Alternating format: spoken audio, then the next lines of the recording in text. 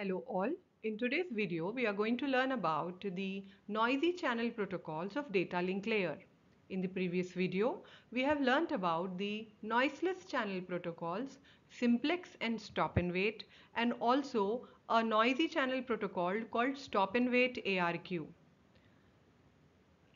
ARQ is automatic repeat request, which is nothing but frame retransmission. We are learning these two protocols together, go back N and selective repeat as they are also called as sliding window protocols. They work on the principle of a sliding window. Go back N ARQ protocol. Also makes use of sequence numbers that are modulo 2 as the stop and wait protocol stop and wait ARQ protocol was using modulo 2 here also the range of sequence numbers is from 0 to 2 power m minus 1 where if the value of m is equals to 2 I can have 0 to 2 power 2 4 minus 1 that is 0 to 3 that means I can have the sequence numbers ranging from 0 to 3 like 0 1 2, 3 and as I told you the sequence numbers will wrap around so I can have again frames can be numbered using the sequence number 0, 1, 2, 3 again they can wrap around 0, 1, 2, 3 and so on. This is about uh, the sequence numbers. Now as I told you that the go back N protocol and selective repeat, they work on a principle called a sliding window. What is sliding window? A sender will have a window, the receiver will have a window. What does that window consist of? The window consists of some frames. In go back N ARQ, the size of the sender window is an imaginary box with a size of 2 power m minus 1 frames in the window. That means if m is equals to 3, I will have 2 power 2 that is 4 minus 1 3 frames in the window 0 1 2 this is my window.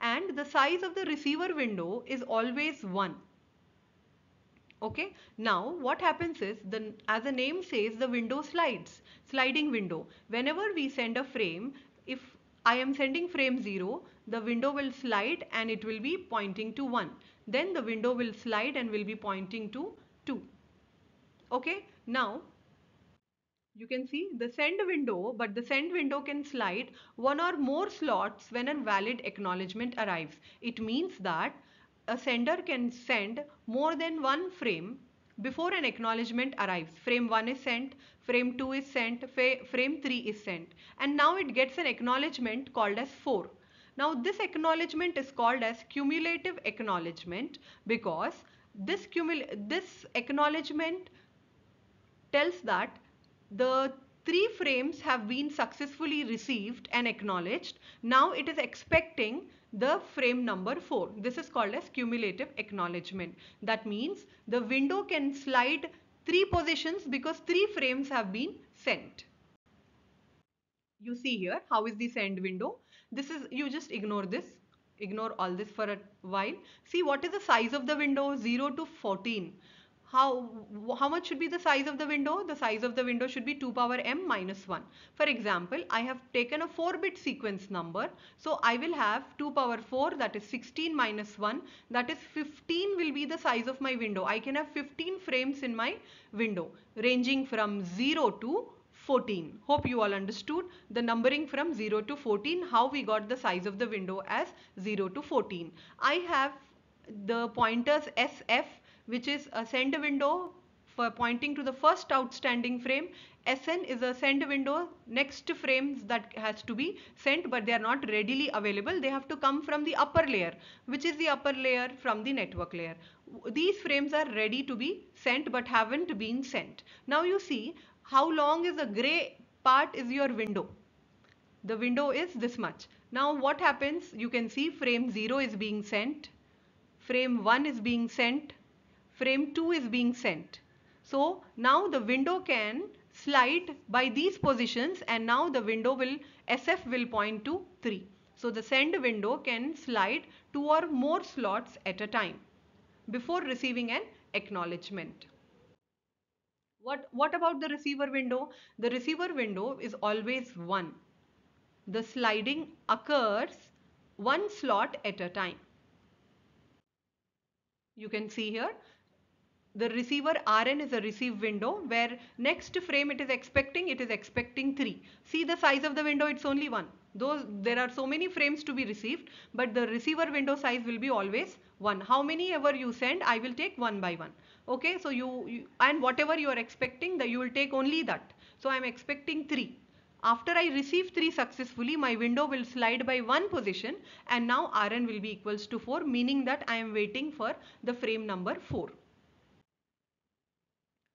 Okay, now let me tell you why is go back N ARQ named as go back N. Now see here I have a sender and a receiver. As I told you that a sender can send number of frames and I can have a cumulative acknowledgement for it. So I have sent frame 1, frame 1 is received successfully. I sent frame 2, I sent frame 3, I sent frame 4, I have also sent frame 5. But due to some problem frame 2 was lost. Receiver was expecting frame 1, it got it. But now what is receiver expecting? Receiver has slided its window by one position, it is expecting 2. Then after 2 it is expecting 3, after that 4, after that 5 frame 2 is lost. What has come? 3 has come. But what is it expecting 2? So what will happen? It will not accept 3. It will discard it. Frame 4 arrives. It will not accept because it is expecting 2 frame 5 arrives it will not accept it is it will discard it because it is expecting the frame 2 so in meantime what happens is the timer for frame 2 that means acknowledgement has hasn't come. No cumulative acknowledgement or no individual acknowledgement has come. The timer at the sender side expires. So what will happen? It will go for a retransmission arq so what it does now now it will send the frame number 2 okay? And now it will accept it and it will slide the window by one position. So now Rn will point to 3 now what has to be done? Do I need to again send frame 3 and 4 and 5 yes. I have to go back n number of to the nth number that is 2 I have to send 2 which I have already sent then I have to again send 3 4 and 5. So what is happening? What is the main disadvantage of go back N ARQ? That whenever there is a loss, loss of a frame and you are sending many frames at a time waiting for a cumulative acknowledgement, you are sending more frames and if there is a problem, you have to again resend all the frames that were sent. That is the main problem of go back N ARQ. And one another thing is that in go back N ARQ, the size of the send window must be always less than, the size of the send window must be always less than 2 power m. The size of the re receiver should be always 1. Let us see why. Now you see here, take an example here. SF is the frame that has to be sent. SN is the next one to be sent. Okay, SF is 0. Frame 0 is sent. What? See the size of the window here? The size of the window is 3 here. Why it might be 3? Because it is 2 power m minus 1. 2 power 4 minus 1 is 3. So the size of the window is 3. So what should be the size of the window? It is always 1. It has sent frame 0. It received frame 0. Okay, but the acknowledgement for this frame was lost. Then what happens? Before the acknowledgement has arrived only because this is go back N ARQ, you can have multiple frames in transit before receiving an acknowledgement. I will send frame 1 also frame 1 has been received as you can see but the acknowledgement for it was lost. Okay then what happens? It has sent frame 2 it has received frame 2 its acknowledgement has also been lost. Okay so what happens? In meantime because no acknowledgement has come the timer for frame 0 has been expired. So automatic repeat request sender will send the frame 0 again. What is received but already it is being received it has already been received. 0 is received, 1 is received, 2 is received. Again you are sending frame 0, it's a duplicate. I, the receiver will not accept it because the window has slided and now it is expecting 3. So what it will do, it will it take frame 0? It will not take frame 0 because it has already received it. Now it is expecting 3. So it will correctly discard the frame. Okay this is possible. This correct thing is happening only because the size of the window is less than 2 power m. 2 power m is 2 power 2 that is 4 and my size of the window you can see is 3 but if I will not follow this if I will keep the window size equal to 2 power m 2 power m is eh, how much? 4 what is the size of the window? See the gray portion. The gray portion is 4 So what will happen in this case? Let us see. Sent to frame 0, received, acknowledgement lost. Sent frame 1, received, acknowledgement lost. Sent frame 2, received, acknowledgement lost. Okay, sent frame 3, received, but the acknowledgement was lost. In the meantime, the timer for frame 0 has timed out. So the frame 0 has been sent again. Now you see what has happened. 0, 1, 2, 3 has approached because the sequence numbers will wrap around it is now expecting a frame number with 0 and you are also retransmitting the frame 0 again. So what will happen? It will erroneously accept it because the sequence numbers are map matching. So what why is this pro problem happening? Because you have made the window size to be equals to 2 power m where it should be always less than 2 power m. So this is your go back N ARQ protocol.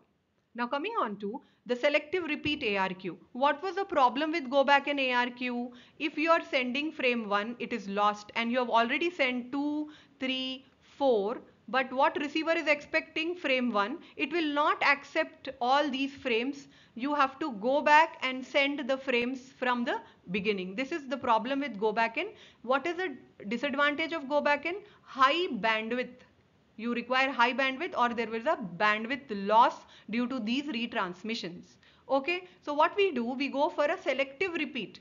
Instead of resending 2, 3, 4 again, whatever was lost, I will selectively retransmit the frame that is actually lost instead of sending all of them again. That is the idea of selective repeat. To implement this idea, the sender window and receiver window are of the same size and they are almost one half of 2 power m. For example, the value of m is 4 bits. So I will have 16 is the size of my window. 2 power m bole to it will be 16. So the size of the sender window will be 8 bits. The size of the receiver window will be 8 bits. So here what is happening is we are not restricting the size of the receiver window to be only 1. I can have 8 in the as a receiver window also. If it is 2 power 2, 4. Okay, what will be the size of the window? Here it will be 2 and it here it will be 2. Okay, so now let us see. You can see here the send window. Okay, 8 as I told you just now 8. Likewise, the size of the receiver window is also 8. You can see the size of the receiver window 1, 2, 3, 4, 5, 6, 7, 8. We have equally divided the send window and the receiver window on the window size. Now you can see the frames that are being colored are already received 4, 7, 9. But 3, 5, 6, 8, 10 are not received so I can selectively repeat them. Instead of sending all these again I can selectively repeat it. How will it happen? Take this example. As I told you that uh, the size of the window should be always 2 uh, equals to or should be less than 2 power minus 1 m minus 1 in case of uh, uh, selective repeat. It should window size should never be greater than uh, 2 power m minus 1 the same problem will happen that we have seen in go back N ARQ now let us understand now let us understand this uh, selective repeat protocol. See here the size of the window here is the gray portion 0, 1, 2, 3. 4 is the size of the sender window. Likewise 4 is the size of the receiver window also. So what happens here is uh, I will send the frame 0 it is being successfully received so the window will slide one position now the window will become 1 2 3 4 it will incorporate this also now because it has slided size is 4 okay then it will send an acknowledgement for uh, the frame uh, acknowledgement 1 means that it has received frame 0 now it is expecting the frame 1 okay? Now what will happen? Size of the window is been 1 2 3 4 again here also it is 4 bits. It will send frame 1 what will happen? Frame 1 is lost. Okay? Then what it did? It has sent frame 2 it has successfully received. But what is it expecting? It is expecting 1 so what it does will it reject? No it will not reject what it does is it will take frame 2 it will also take frame 2 it will take frame 3 okay? But rather it will send a negative acknowledgement. Here we are using a concept called as negative acknowledgement for the selected frame that has not been received. Negative acknowledgement for one is being sent meaning that i did not receive uh, the frame 1 so what and what i do because i have a window I have a bigger window, I can receive the frame number 2 and 3. I will not discard it okay? So that there is no need of retransmitting these frames again. This is the advantage or this is the best policy of uh, sliding window protocol that is selective repeat. This is the most optimized solution among all the data link layer protocols. Selective repeat is the best one so what I do is because it uses less bandwidth, no uh, more uh, more retransmissions happen here. So what will happen? I got a negative acknowledgement frame for frame one. So what the sender will do? The timer uh, also has expired here for timer for uh, the frame one. So it will now resend the. You can see here it is resending the frame one here, and it will accept the frame one. You can see two three have come already. One has come now. Now I am expecting four, and then the window will slide for more positions. So this is about your selective repeat ARQ. In go back N ARQ, we'll have to go for sending all the frames again whereas in selective repeat we need to only retransmit the frame that has been lost.